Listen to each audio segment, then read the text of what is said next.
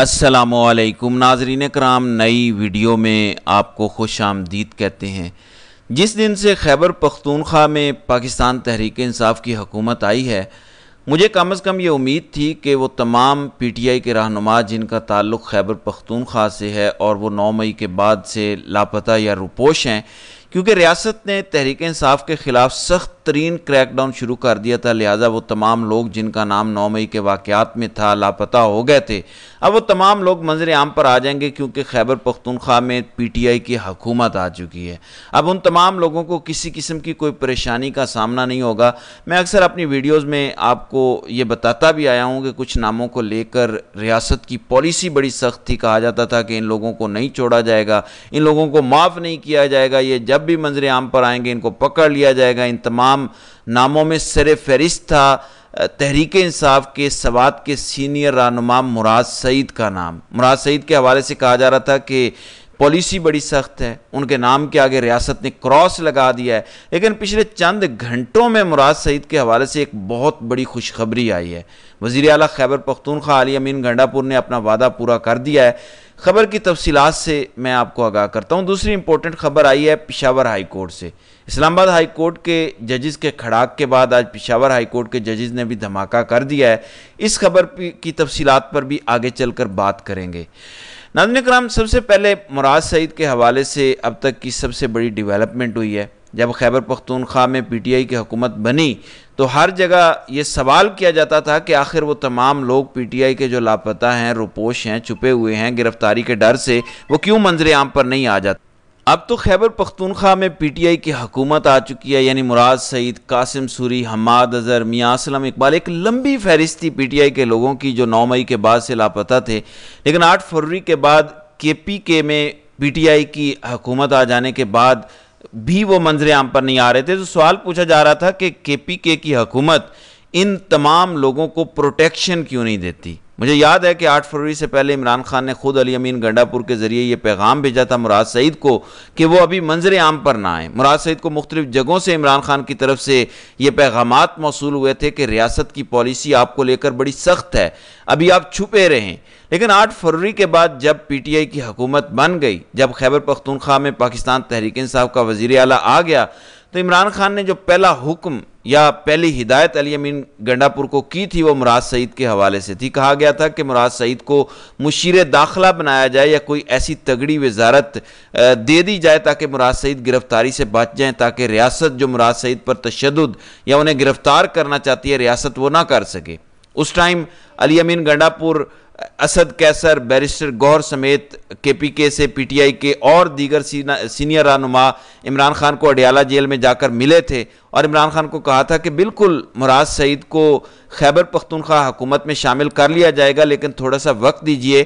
اگر مراد سعید فوری طور پر منظر عام پر آ جاتے ہیں، اگر مراد سعید کو فوری طور پر کابینہ کا حصہ بنا دیا جاتا ہے تو این ممکن ہے ان کو خیبر پختونخوا سے بھی گرفتار کر لیا جائے۔ خیبر پختونخوا حکومت کو تھوڑے سے قدم جمانے دیں خیبر پختونخوا حکومت کو تھوڑا سا سٹیبل ہونے دیجیے، اس کے بعد مراد سعید کے حوالے سے تمام تر میکنزم بنا لیا جائے گا۔ بلاخر علی امین گنڈا پور نے حکومت بننے کے چھ ماہ بعد یعنی آٹھ فروری کے بعد خیبر پختونخوا حکومت بنی، تحریک انصاف کی جولائی کا مہینہ آ چکا ہے، تقریباً چھ، سوا چھ مہینے بعد علی امین گنڈا پور نے مراد سعید کے حوالے سے ایک بڑا فیصلہ لیا۔ مراد سعید کے حوالے سے ایک بڑی خوشخبری آ چکی ہے۔ مراد سعید کے لیے خیبر پختونخوا اسمبلی نے ایک قرارداد منظور کر لیا کہ مراد سعید کو نہ صرف منظر عام پر لایا جائے بلکہ مراد سعید کو بھرپور سیکیورٹی بھی فراہم کی جائے۔ خیبر پختونخوا سے پی ٹی آئی کے صوبائی اسمبلی کے رکن ہیں سہیل آفریدی۔ انہوں نے خیبر پختونخوا اسمبلی میں یہ قرارداد پیش کیا کہ کے پی کے کے علاقے سواد سے تعلق رکھنے والے مراد سعید جو پی ٹی آئی کا فیس ہیں، تحریک انصاف کے لیے بے پناہ انہوں نے کام کیا ہے، انہیں منظر عام پر لایا جائے سیکیورٹی فراہم کی جائے اور ان کو تمغہ شجاعت بھی دیا جائے یعنی تمغہ شجاعت سے انہیں نوازا جائے۔ نظم اکرام، نو مئی کے بعد سے لے کر اب تک جہاں پر پی ٹی آئی نے بے پناہ کھویا ہے بحیثیت جماعت وہاں پر تحریک انصاف نے بہت کچھ حاصل کیا یعنی مراد سعید سنم جاوید، یاسمین، راشد، عمر سرفراز چیمہ میاں اسلم اقبال، یہ بے شمار ایسے لوگ ہیں جو پی ٹی آئی کا ایسڈ ہیں۔ انہوں نے تمام تر ریاستی جبر کے باوجود کلمہ حق بلند کیا، انہوں نے تمام تر ریاستی ظلم کو برداشت کیا، اس کے باوجود تحریک انصاف یا عمران خان کو چھوڑا نہیں۔ یہی لوگ ہیں جو اب پی ٹی آئی کا فیس ہوں گے، یہی لوگ ہیں جو تحریک انصاف کی باغ دوڑ سنبھالیں گے۔ تو خیبر پختونخوا نے یہ قرارداد منظور کر کے ایک بڑا زبردست اقدام کیا ہے۔ میں نے کیوں کہا کہ علی امین گنڈا پور نے اپنا وعدہ پورا کر دیا ہے؟ کیونکہ آج سے چھ سات مہینے پہلے یعنی آٹھ فروری کے فوری بعد عمران خان کو علی امین گنڈا پور اور تمام تر سینئر قیادت کی جانب سے کہا گیا تھا کہ کچھ وقت دیں۔ ہم فوری طور پر یہ اقدام نہیں کرتے تاکہ بیک فائر نہ ہو جائے، کیونکہ اس ٹائم ظاہر ہے خیبر پختونخوا کی حکومت بڑی ارلی سٹیج پر تھی اور یہی فیصلہ کیا گیا تھا کہ تھوڑے ٹائم کے بعد کے پی کے اسمبلی سے کچھ قرارداد منظور کر کے منظر عام پر مراد سعید کو لایا جائے گا اور پھر ان کو کابینہ کا حصہ بھی بنایا جائے گا۔ بلاخر وہ قرارداد متفقہ طور پر منظور ہو چکی ہے۔ کہا جا رہا ہے کہ اگلے چند گھنٹوں میں خیبر پختونخوا میں مراد سعید سامنے آ سکتے ہیں اور یہ بہت میجر ڈیولپمنٹ ہوگی کیونکہ اس ٹائم پی ٹی آئی کو اگر خیبر پختونخوا کی حد تک یا دیگر جگہوں پر بھی ایک سٹرونگ وائس کی ضرورت ہے، تو وہ مراد سعید پوری کر سکتے ہیں۔ اس میں کوئی شک نہیں ہے۔ وہ بڑے زبردست آدمی ہیں، بڑی زبردست آواز ہیں، زبردست بات چیت کرتے ہیں۔ سو پی ٹی آئی نے یہ ایک زبردست سٹیپ لیا ہے۔ دوسری امپورٹنٹ خبر ہے پشاور ہائی کورٹ سے۔ پشاور ہائی کورٹ کے ججز نے اس سے پہلے حماد اظہر، زرتاج گل اور میاں اسلم اقبال یہ تین پی ٹی آئی کے رہنما ہیں جنہوں نے اپنے تمام تر مقدمات کے حوالے سے درخواستیں پشاور ہائی کورٹ میں جمع کرائیں اور ان تمام تر درخواستوں پر ان تمام پی ٹی آئی رہنماؤں کو ریلیف بھی ملا۔ یعنی وہ تمام لوگ نو مئی کے واقعات میں جن کو ریاست ڈھونڈ رہی تھی، ریاست کو مطلوب تھے، پشاور ہائی کورٹ کے ججز نے ماضی میں بھی انہیں ریلیف دیا اور تمام تر مقدمات ختم ہوئے۔ یعنی حماد اظہر دو دفعہ ابھی منظر عام پر آئے ہیں ایک پشاور میں اور ایک دفعہ وہ اسلام آباد اپنے مرکزی سیکرٹریٹ میں منظر عام پر آئے، لیکن ان کو پولیس گرفتار کرنے پہنچ گئی اور پھر کہا گیا کہ وہ دوبارہ کے پی کے میں چلے گئے ہیں۔ میاں اسلم اقبال دو دفعہ سامنے آئے۔ ایک انہوں نے پشاور میں پریس کانفرنس کی، ایک وہ لاہور پنجاب اسمبلی میں جب ان کو اپوزیشن لیڈر بنانے کا فیصلہ کیا گیا اور اس کے بعد وہ دوبارہ خیبر پختونخوا چلے گئے۔ اب کہا جا رہا ہے کہ کل کی قرارداد کے بعد، اب سے کچھ دیر پہلے یعنی آج خیبر پختونخوا کی حکومت باقاعدہ مراد سعید کے تمام مقدمات میں ضمانت قابل از گرفتاری کو لے کر پشاور ہائی کورٹ جاری ہے اور ہر صورت پشاور ہائی کورٹ سے مراد سعید کو ریلیف مل جانا ہے۔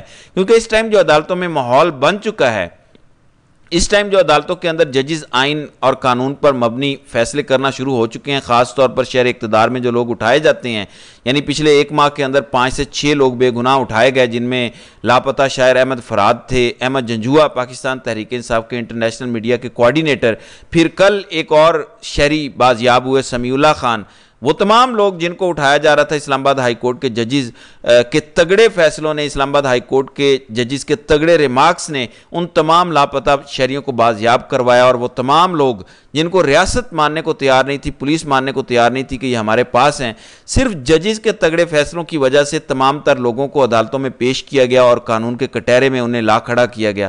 اب یہی توقع کی جا رہی ہے کہ اگر مراد سعید کو آج پشاور ہائی کورٹ سے ریلیف مل جاتا ہے، جس کے امکانات بہت زیادہ ہیں، کیونکہ پشاور ہائی کورٹ سے ہی حماد اظہر کو ریلیف ملا، میاں اسلم اقبال کو ریلیف ملا۔ خود مراد سعید کے کیسز بھی وہاں سے ختم ہوئے ہیں، لیکن ان کو دیگر مقدمات میں نامزد کیا جاتا رہا۔ تاکہ جب بھی وہ منظر عام پر آئیں ریاست انہیں گرفتار کر لے۔ تو کل خیبر پختونخوا اسمبلی نے یہ قرارداد منظور کر کے ایک زبردست پلان کر دیا مراد سعید کی واپسی کا۔ اب دیکھنا یہ ہے کہ کیا عمران خان مراد سعید کو اس ٹائم واپس آنے کا حکم دیتے ہیں، کیا ہدایت کرتے ہیں خیبر پختونخوا کی حکومت کو؟ کہ اب مراد سعید آ جائیں جیسے میں نے کہا کہ مراد سعید کو منظر عام پر آنے سے پہلے سے خود عمران خان نے روکا ہوا تھا، لیکن آٹھ فروری کے بعد عمران خان نے ہی ہدایت کی تھی کہ ان کو مشیر داخلہ بنایا جائے۔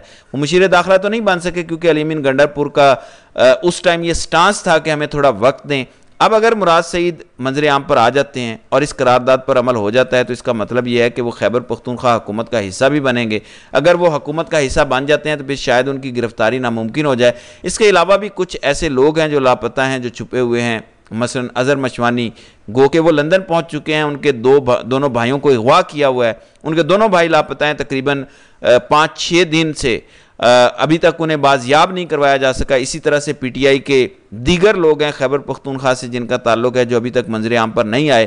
خیبر پختونخوا کی حکومت ہونے کے باوجود وہ سامنے نہیں آ رہے۔ تو سوالات بڑھتے جا رہے تھے۔ اسی وجہ سے مراد سعید کو منظر عام پر لانے کے لیے، مراد سعید کی واپسی کے لیے اب عملی اقدامات شروع ہو چکے ہیں۔ اور میں اکثر اپنی ویڈیوز میں کہتا ہوں کہ یہ تمام چیزیں ریورس تو ہونی ہیں۔ ایسا تو نہیں ہے کہ ایسے ہی نظام چلتا رہے گا یعنی عمران خان بھی نے بھی اڈیالہ جیل سے باہر آنا ہے۔ ان تمام لوگوں نے جن کو نو مئی کے واقعات میں مطلوب رکھا گیا، ان لوگوں نے بھی منظر عام پر آنا ہے۔ انہوں نے بھی ایکٹیو پولیٹکس کرنی ہے۔ سو یہ چیزیں کبھی نہ کبھی تو ٹھیک ہونی ہے اور اب یہ لگ رہا ہے کہ چیزیں کم از کم اس حد تک ٹھیک ہونے جا رہی ہیں کہ خیبر پختونخوا حکومت تھوڑی سی تگڑی ہو کر اپنے رپوش رہنماؤں کو واپس لانے کے لیے عملی اقدامات کرنا شروع ہو چکی ہے۔ تو ناظرین کرام، آپ کی اس ویڈیو کے حوالے سے کیا رائے ہے؟ آپ اپنی رائے کا اظہار کومنٹ سیکشن میں ضرور کیجیے گا۔